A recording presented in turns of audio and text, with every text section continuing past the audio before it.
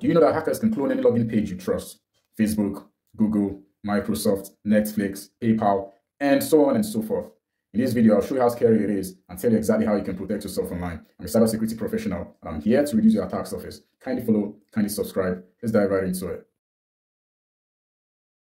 Already cloned the repository. So now let's go into the cloned um, directory. Now that we are in, um, let me run bash then.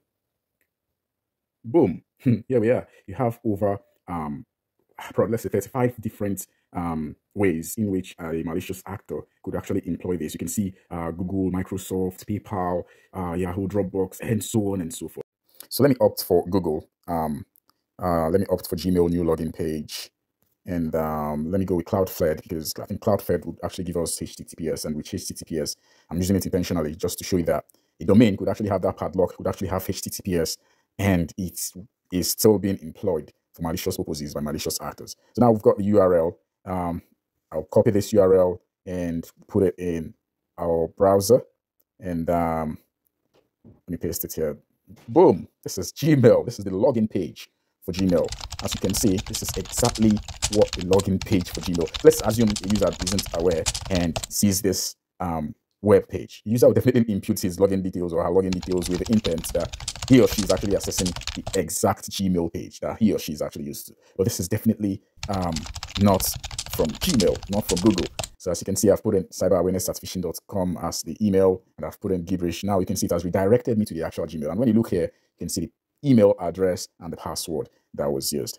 So this is exactly how malicious actors uh, could get to people and so here's how to avoid falling for this every single time. Number one, check the URL, not the design.